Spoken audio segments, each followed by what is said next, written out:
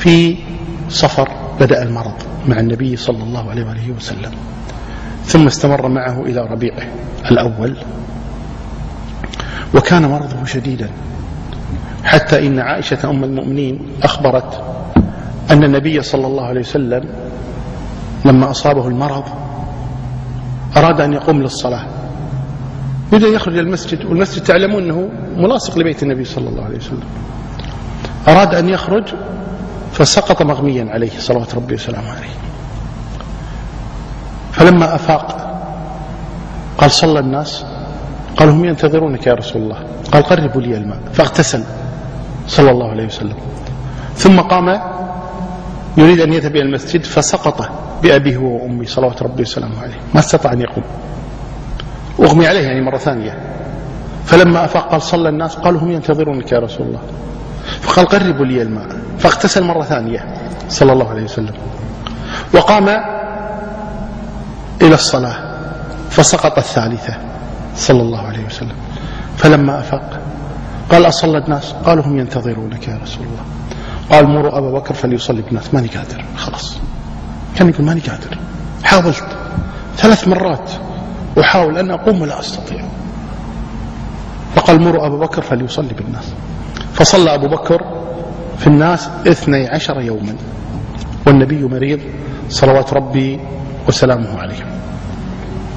في يوم من الأيام خلال هذه الأيام استدعى النبي عائشة أم المؤمنين وكان يعني قد مرض في بيتها. استأذن من أزواجه أن يمرض في بيت عائشة. فناداها النبي صلى الله عليه وسلم. قالت يا عائشة قال يا عائشة أين الدنانير السبعة التي أعطيتك إياها؟ قالت محفوظة. قال تصدقوا بها. لا أريد أن يبقى عندي مال. تصدقوا بها. قالت نعم يا رسول الله. ثم أغمي عليه. فلما أفاق قال يا عائشة ما ما صنعت بالدنانير؟ قالت موجودة يا رسول الله هي مشغولة بالرسول صلى الله عليه وسلم.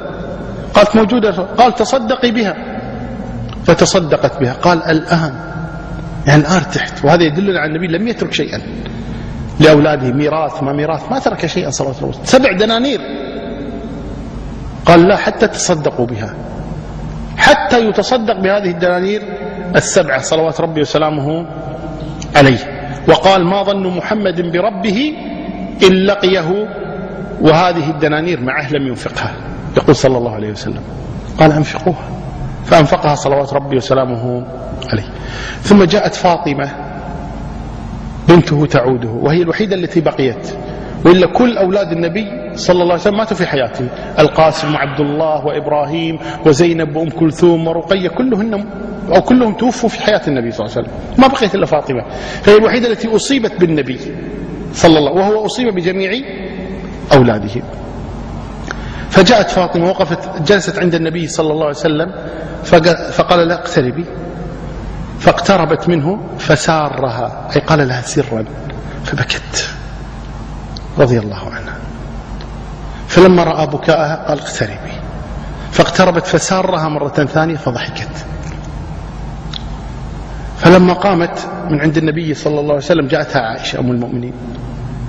فقالت لها ما رأيت قريبا من بكاء إلى ضحك من هذا؟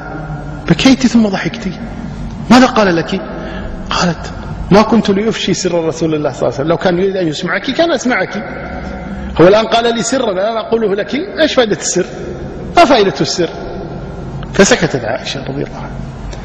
بعد وفاة النبي صلى الله عليه وسلم ما زال هذا الموضوع يشغل بال عائشة.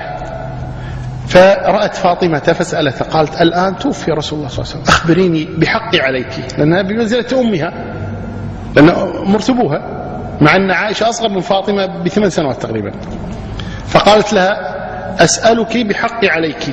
ماذا قال لك رسول الله صلى الله عليه وسلم؟ فبكيت ثم ضحكت. قالت سارني الأولى.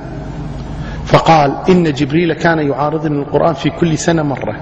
وهذه السنة عارضني القرآن مرتين ولا أظن إلا إنه أوان أجلي. هذا وقت وفاتي. فبكيت. فلما رأى بكائي سارني ثانيا قال إنك أول أهلي لحوقا بي.